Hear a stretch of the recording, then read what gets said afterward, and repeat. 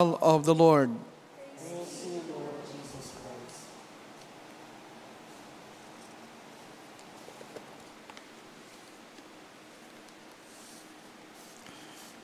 There is a story circulating in the internet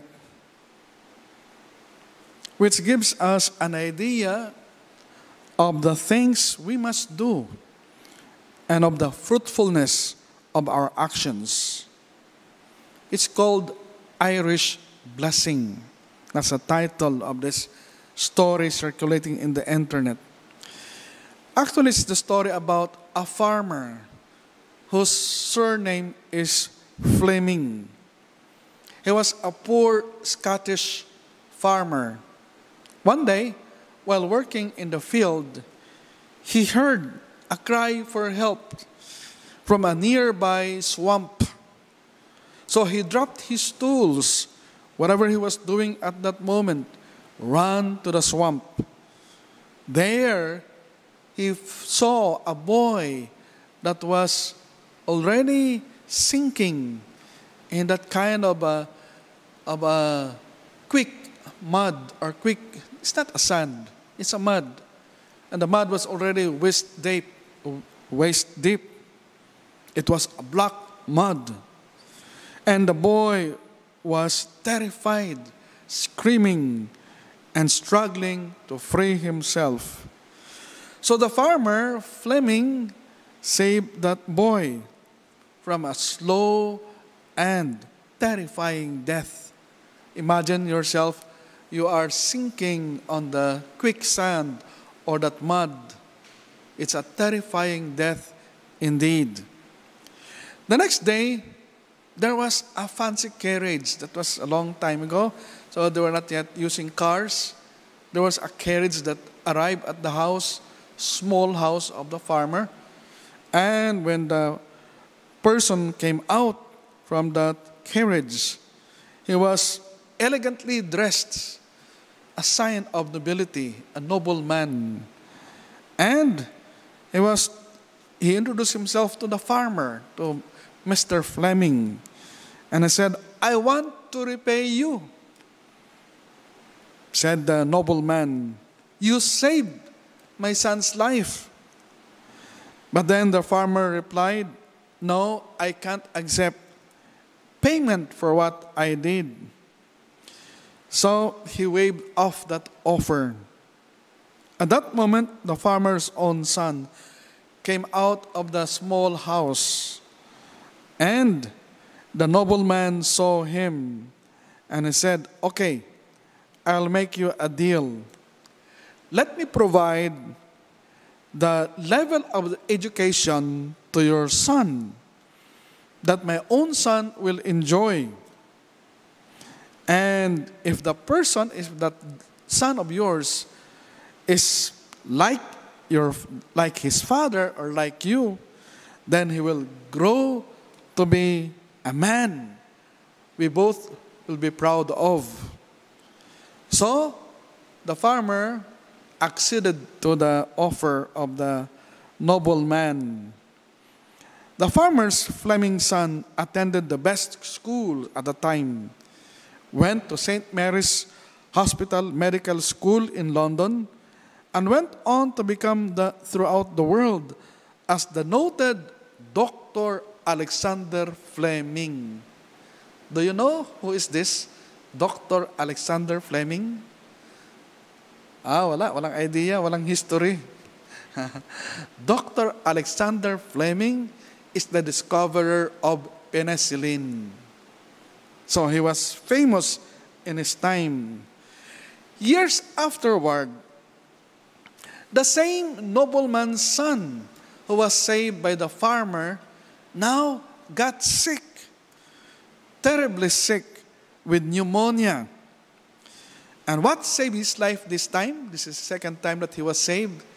Now, this time, the son of the farmer, who now became, became a doctor, Alexander Fleming, saved him with penicillin. The name of the nobleman, do you know the name of the nobleman? His name is Lord Randolph Churchill. Yes. And the son is the famous Sir Winston Churchill. Beautiful story. But I think this is just a rumor. I don't know if there's really a historical fact about this. But the point here is this that the, there was some kind of uh, not payback. No, it's not payback because the farmer did not accept it. But instead, it was called pay forward. That's a modern term. No? Pay forward. You receive a blessing, instead of paying back the person who gave you the blessing, you gave the blessing to others.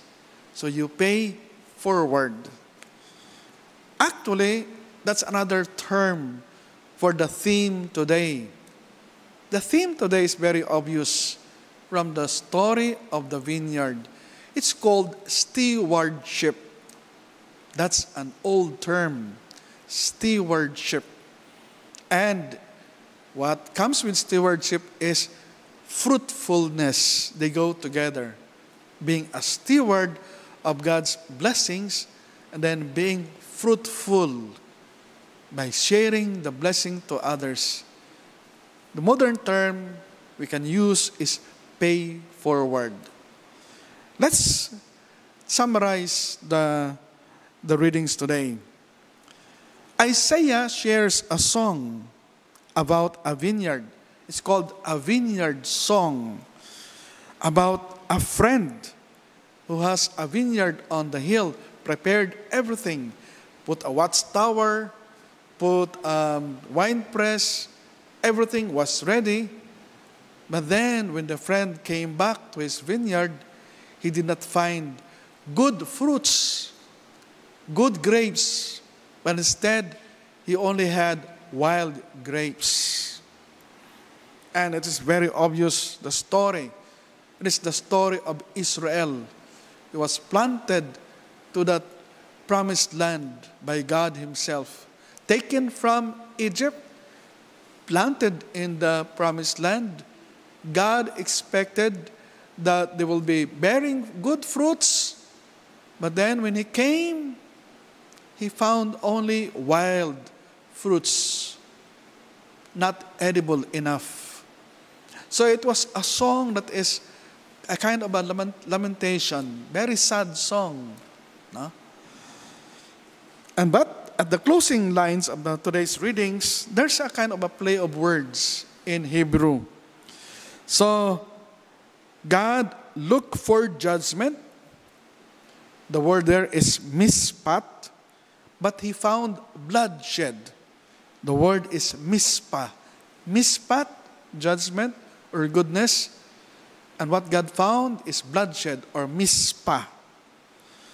Another word is justice, sidaka. But he found, he found only an outcry, siaka.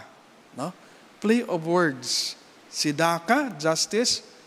But what God found is siaka, God expected the people of Israel to bear fruits. But the fruits are not about things or material things or about the wealth of a nation like the silk trade or those gold or the treasures. But the fruits God expects are kindness, goodness, charity, justice, respect towards others. In short, really purely goodness. The good that you receive from the Lord, you give to others. You bear fruit, share them to others, that goodness.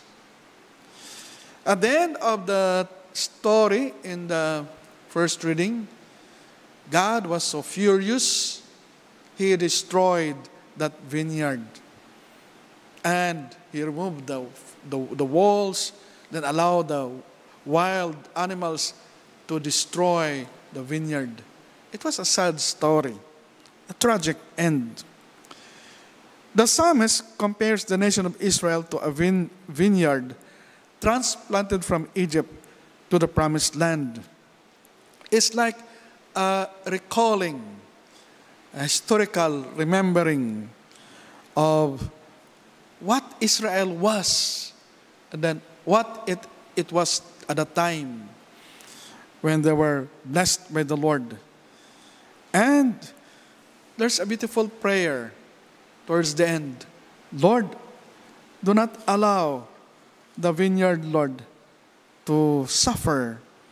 Why have you broken down its walls so that every passer-by plucks its fruit and the boar from the forest lays it waste and the beasts of the field feed upon it? Very symbolic about the countries that devoured Israel, destroyed Israel. And so the psalmist prayed, no? Lord, take care of this vine. Protect what your right hand has planted. And then, Lord, we will not no more withdraw from you. Give us new life. We will call upon your name. Restore us, Lord. The last part of the psalm, psalm is a prayer for to give them another chance, second chance. St. Paul sends a greeting of peace to the people of Philippi, and he prays that they will live lives which bear fruit from the good seed that has been planted in them. God has provided and will continue to provide for them, especially as they treat one another with the same love and kindness, with the same faithfulness to the message St. Paul has treated them, and more importantly, as God treated them. In the Gospel, mindful of the Hebrew scriptures or Old Testament, Jesus told a story of the, of the parable of the vineyard. But he was, I think, he was mindful of this story from, or the song of the vineyard from Isaiah. So he told it in a different way. But you can see the, some similarities and the differences, especially towards the end of their stories.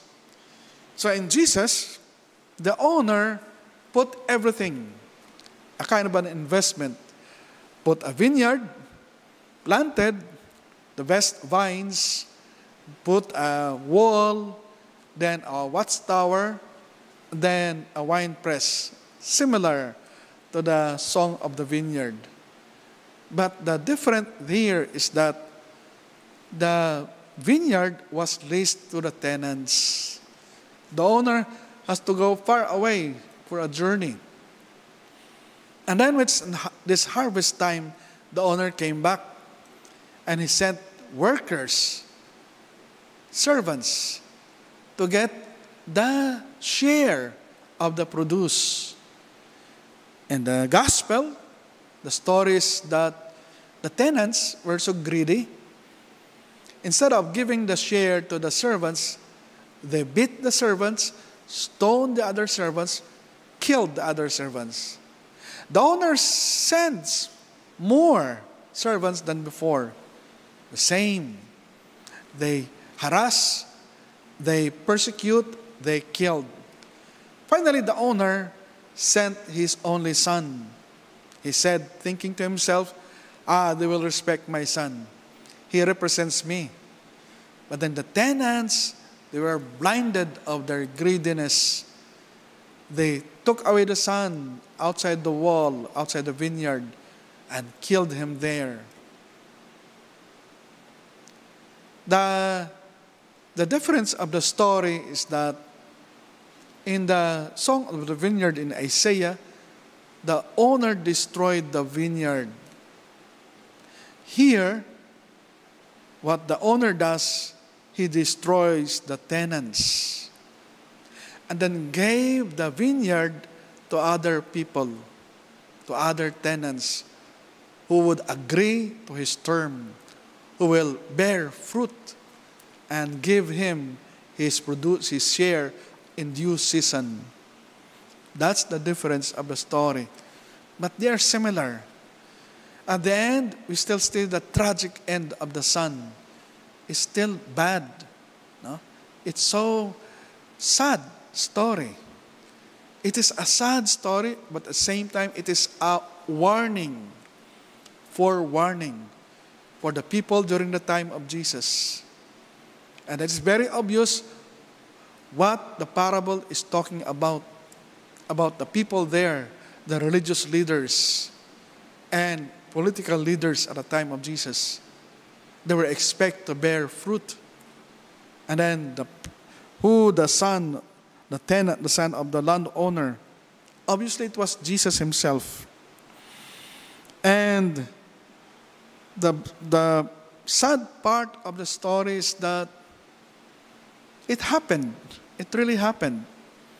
It was taken away from them, from the Israel, from the Israelites, from the Jewish people, and given the mission of spreading the kingdom to the Gentiles.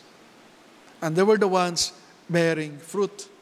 Until now, God must still be expecting fruits from the Jewish people. But right now, it was given away to those who are going to bear fruit. That is only part of the message. Because the second part of the message is not about people, it's not about the Israelites, it's not about the Old Testament. It is about me, myself. I see in the readings not only a warning to to the contemporaries of Jesus. I also see the readings as a challenge to me, a challenge to see the Lord, what the Lord has entrusted to me. I am a caretaker. I am a steward. Everything that I have, intelligence, properties, talents, even my life, is not my own. Everything is the Lord's. I am just a caretaker, a steward. So, this is also a warning to me and a challenge to me. God has provided all that I need to produce. I need to produce a rich harvest for God. I have given many tools education, training, seminary, formation. Those are the tools I have. So that God, what God has given me, I will make use of them. I can be productive. And then I will give back to Him His share of the produce. But sometimes I am like the tenant. I am tempted to be greedy, to, to see the things as my own. I work for them, Lord. This is mine. No? I labor for them. I trained myself. I became a doctor. I became an engineer, a lawyer. Hard work. Now, these are the fruits. I don't owe you anything. I owe it to myself. It's a temptation, like the tenants, that we own them.